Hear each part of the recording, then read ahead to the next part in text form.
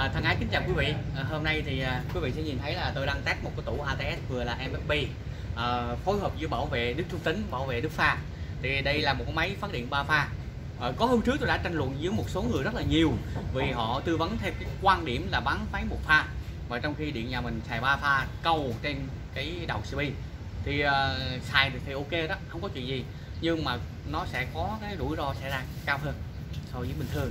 Thì uh, hôm nay các bạn sẽ nhìn thấy là ở trên cái bo của mình ha. Cái đây thì các bạn sẽ nhìn cái tủ hơi chậm cái đây các bạn sẽ nhìn thấy là ở đây bây giờ mình uh, đang có nguồn điện lưới ha. Bây giờ mình uh, giả sử như bây giờ mình cho nó tắt đi thì các bạn sẽ thấy là máy sẽ nổ. Uh, cứ, cứ giữ đi em giữ đi. Giữ giữ đi nó đề máy bây giờ đó. Bật CP cô máy phát lên chưa?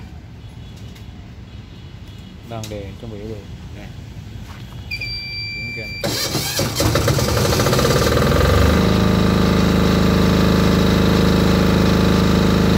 quay quay gấp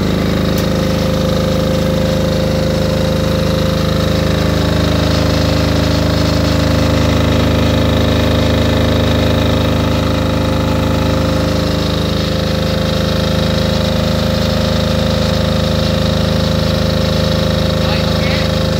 Ờ, tám cái món là tám cái rồi. Ok, ok. Đưa đưa ngay những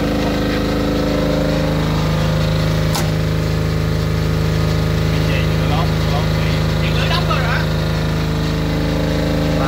vâng Điện đóng lưới đóng là sau 30 giây đúng không Thôi, cái đèn- đèn- đèn- đèn kia này đã, đèn- đèn kia này. bao nhiêu giây sau nó mới nó mới trả ra lại còn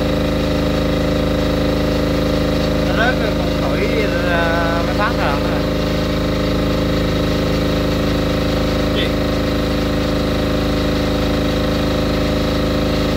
Ờ, quay máy này, quay máy- quay con máy này nhá.